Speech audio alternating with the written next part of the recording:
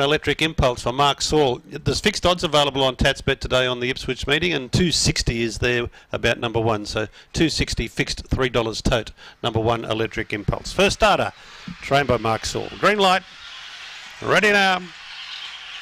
Off they go.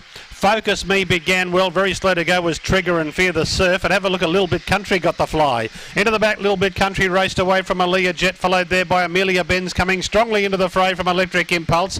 Trigger tries to run up to about midfield, followed by Fear the Surf, Focus Me. Diamond Zena is the last one, but Little Bit Country bounded away, straightening for the judge. Getting to second, uh, Electric Impulse, but Little Bit Country beat Electric Impulse. Trigger was a good run for third. Gee, it's tied for fourth. Fear the Surf or Amelia Benz. And then came Aaliyah Jet, Focus Me, and Diamond Zena was the last one home in about 25 and 8. Little bit country for Peter Hay.